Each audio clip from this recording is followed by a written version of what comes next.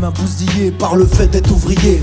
Le dos en vrac pour n'être à l'écobac. Pour continuer d'étudier, fallait allonger deux plaques. Tu peux chercher les autres packs, tu finiras sur le chantier. Personne m'attendait là, comme le pélo dans le bac. Tout le monde riait quand je sortais mes tracks. Et quand je repense à ma mère, je méritais des claques. Elle disait, Nasty et Reza à l'écoute. Je m'appelle Reza, je suis euh, rappeur euh, sur la scène calédonienne. Je m'appelle Nasty, je viens de Bretagne, de Saint-Malo. Ça va faire euh, 10 ans que je suis ici à Nouméa.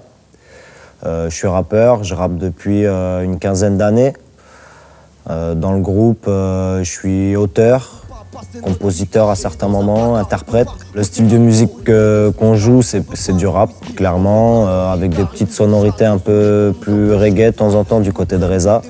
Mais sinon, c'est du rap, euh, du rap français, euh, pur et dur, euh, qu'on aime, qu'on aime à, à appeler maintenant rap calédonien, parce que voilà, c'est, on va dire que c'est une filiale du rap français. Quoi. Euh, Je pense que de nos jours, c'est ce qui a remplacé la chanson française au niveau de la, de la qualité euh, du texte, la qualité de la langue française. C'est aujourd'hui le rap, je pense, qui, qui utilise le mieux cette langue et, et j'aime jouer avec les mots tout simplement. donc, Je sais qui tu es, un ouvrier tout comme ton père, un ouvrier tout comme mon père. Courage à toi mon frère. Je sais qui tu es, un ouvrier tout comme ton père, un ouvrier tout comme mon père. Courage à toi mon frère. On sait qui tu es, un ouvrier tout comme ton père, un ouvrier tout comme nos pères. Courage à toi mon frère. Un peu de courage. Nasty Reza, c'est la voix du peuple. Donc, euh, moi, ce qui m'inspire, c'est ce que les gens vivent tous les jours. Ça peut être autant des faits divers, autant ça peut être euh, des choses de bien qui ont été faites, ou, des façons de penser, ou ça peut être très large, en fait, euh, le champ d'action au niveau des textes. Mais après, ce qui m'inspire, moi, le plus, c'est voilà, c'est ce que le peuple vit tous les jours. C'est autant les joies que les peines. L'inspiration, elle est tellement vagabonde qu'on la pioche là où elle est. J'aime bien écrire le soir. Ça m'inspire beaucoup plus. Je pioche mes idées pendant la journée, j'écris le soir.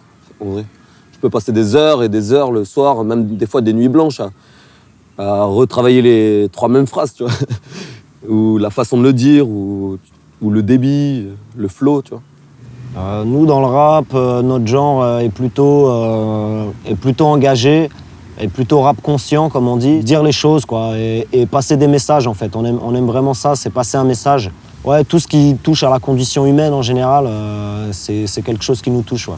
On m'a souvent associé à mes deux petites sœurs. Aujourd'hui, je crois que nous trois, ça n'était qu'un leurre. On m'a pas laissé le temps de prendre de l'ampleur. Je m'appelle Liberté, je m'éteins après heure. Pour tous ces mecs du monde qui me sautent de cannelle. Avant de disparaître comme Yoto McKellel. J'en ai marre des hommes et de leur putain de querelle. Je m'appelle Liberté, je pense me faire la belle. Pour tous ces mecs du monde qui me sautent de cannelle. Avant de disparaître comme Yoto McKellel. J'en ai marre des hommes et de leur putain de querelle. Je m'appelle Liberté, je pense me faire la belle. L'écriture, c'est ma seule façon de m'échapper de leur prison psychologique.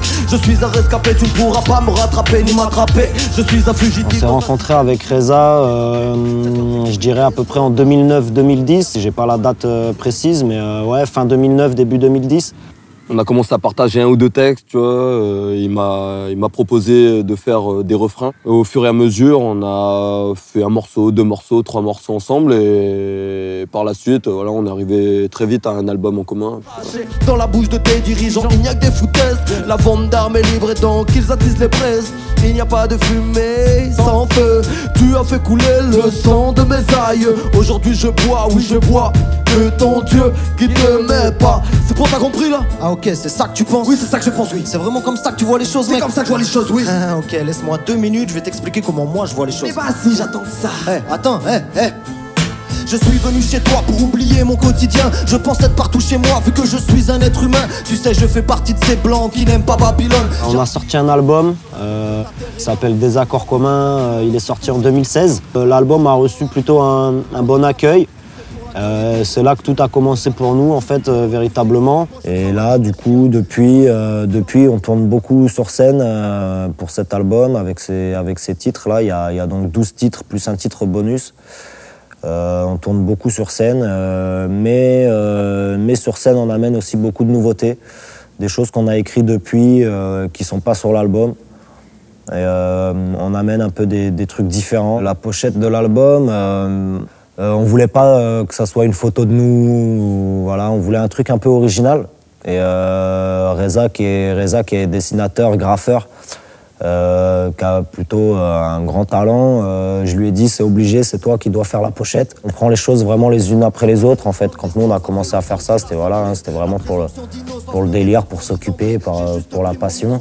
Puis petit à petit, on s'est prêté au jeu, donc tout ce qui nous arrive, on le prend, euh, euh, les bras ouverts, en se disant, bah, voilà, dem- demain sera peut-être fini, donc on prend ce qu'il y a à prendre pour l'instant. Il y a une chanson qui me trotte dans la tête, c'est genre euh, Il en faut peu pour être heureux. Tu vois, pour conclure, je pense qu'on est pareil, frère. J'aimerais me sentir chez moi sur ton petit bout de terre. Moi aussi j'ai mes malaises, moi aussi j'ai mon mal-être. À cause de nos ancêtres, on s'aime pas, il faut que ça s'arrête.